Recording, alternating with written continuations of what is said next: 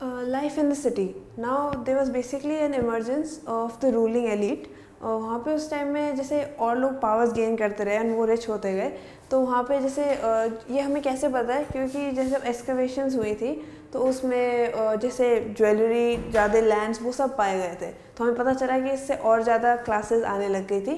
ना वहाँ पे जो मैरिज का सिस्टम था बेसिकली वहाँ पे न्यूक्लियर फैमिलीज़ का ज़्यादा ट्रेंड था उस टाइम में। Nuclear families as a smaller families और basically in the end marriage के बाद मोस्टली जो द हस्बैंड होते हैं उसके पेरेंट्स के साथ दो uh, जो ब्राइड ग्रूम की फैमिली वहाँ रहेगी। एंड हर फैमिली में बेसिकली जो फादर होता था वो हेड होता था।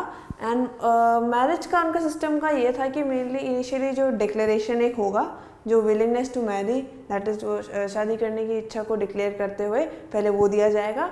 उसके बाद जो ब्राइड होती थी, जो दुल्हन होती थी, उसके पेरेंट्स से कंसेंट लेना ज़रूरी था।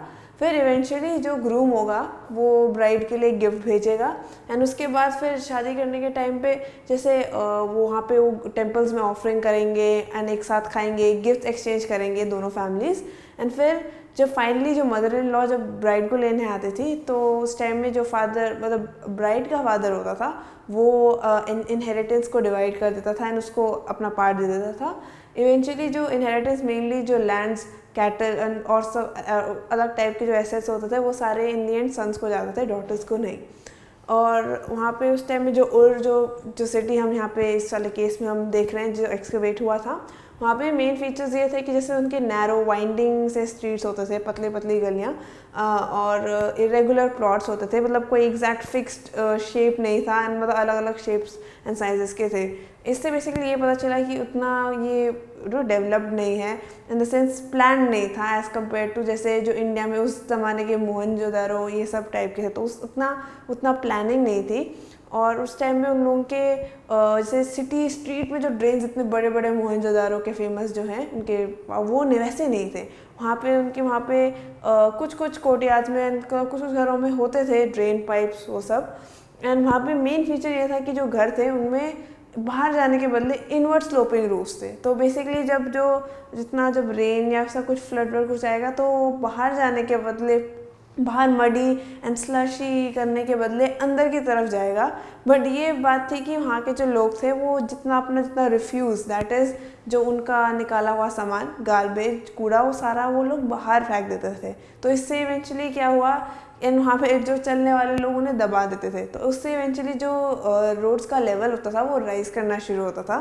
तो इस, इसको काउंटर करने के लिए वहाँ के लोग अपना जो थ्रेश होल्ड होता था, घर की, जो घर की चौखट होती है, उसको बार बार उठाते रहते थे, जिससे वहाँ का सामान गंदगी अंदर ना आए। एंड वहाँ पे एक और ये भी था कि जो विंडोज़ होते थे विंडोज़ के थ्रू बेसिकली लाइट नहीं आता था। घर में उन्होंने क्या कर रखा था कि जो डोरवेज होते थे, वो सेंट्रल कोर्टयार्ड की तरफ़ खोलते थे। इससे वो अपनी प्राइवेसी प्रोटेक्ट करने के लिए उन्होंने ऐसा सिस्टम बनाया था कि डोरवेज के थ्रू लाइट आए, ना ही विंडोज़ के थ्रू एंड वहाँ पे जो वहाँ पे जो टैबलेट्स पाए गए थे टेम्पल्स में से उन पर काफ़ी सुपरस्टिशंस का हमें आइडिया पता चला। जैसे कि जो थ्रेश होता है, अगर थ्रेश ज़्यादा रेज होगा तो ये था कि मतलब ज़्यादा वेल्थ आएगा घर में।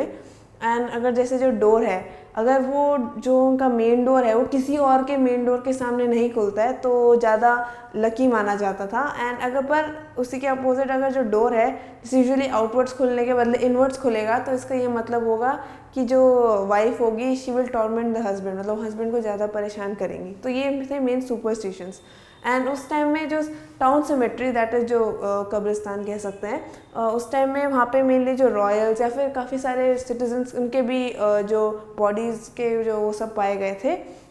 बट जबकि कुछ लोगों के एविडेंस ये भी था कि कुछ लोग नॉर्मल ऑर्डनरी होम्स के नीचे के फ्लोर्स के नीचे बरेड थे तो अभी एग्जैक्टली exactly बहुत क्लियर नहीं है उस वाले पार्ट में। Next is a trading town in pastoral zone जो मारी जो उस टाइम का जो कैपिटल सिटी था, वो एक ट्रेडिंग उनका मतलब मेन ट्रेडिंग था but there in a pastoral zone basically वहाँ पे farmers agriculture is that is and जो पेस्टोरलिस्ट काफ़ी पाए जाते थे उस जोन में. It was not in the actually जो फर्टाइल वाला सदर्न एरिया था, वहाँ पे नहीं था.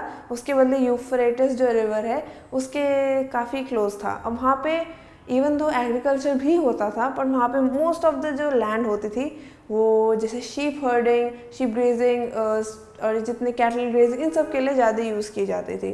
तो काफ़ी बार ऐसा होता कि इन दोनों कम्युनिटीज़ के बीच में थोड़े बहुत कॉन्फ्लिक्ट्स भी होते थे। जैसे कभी कभी हर्डर्स ने वो जो उनके जो प्लॉट्स हैं, उनके थ्रू जब हार्वेस्ट के टाइम में उन्होंने अगर उनके क्रॉप्स पिचका दिए या फिर रात को वो आके मतलब उन्होंने कभी सडनली क्योंकि वो दे आर मोर मोबाइल वो लोग इजीली मतलब अपने हर्ड्स को इधर उधर ले जा सकते हैं। तो हर्डर्स ने जैसे उनके जो स्टोर्स होते थे उनको रेड कर दिया वहाँ से उनके सामान चुरा लिए। बट मोस्टली एंड उसका काउंटर करने के लिए ये होता था कि जो एग्रीकल्चरिस्ट होते थे वो उनका जो एक्सेस टू uh, जैसे द कैनाल वाटर जो कैनाल में से पानी आता था या फिर जैसे जो रिवर का पानी था उसमें से उनके जो रूट्स होते थे उनको चेंज करवा सकते थे जिससे वो उनका एक्सेस थोड़ा ब्लॉक ऑफ़ हो जाए।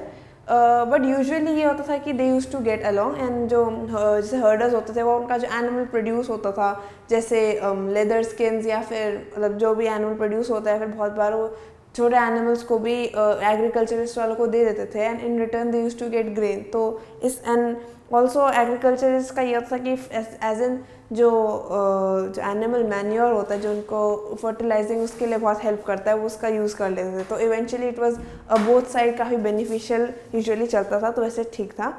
एंड ऑल्सो उस टाइम में मेनली ये था कि जो वेस्टर्न डिजर्ट एरिया में और टाइप के लोग, जैसे एमोराइट्स एंड या फिर अकर्डियंस वो लोग आते थे एंड वो काफ़ी बार सेटल हो जाते थे if if became prosperous mostly वहाँ पे वो जैसे लेबरर्स या फिर नॉर्मल हर्डर्स उनकी तरह वर्क करते थे बट आफ्टर गेनिंग प्रॉस्पेरिटी वो काफ़ी बार सेटल भी हो जाते थे।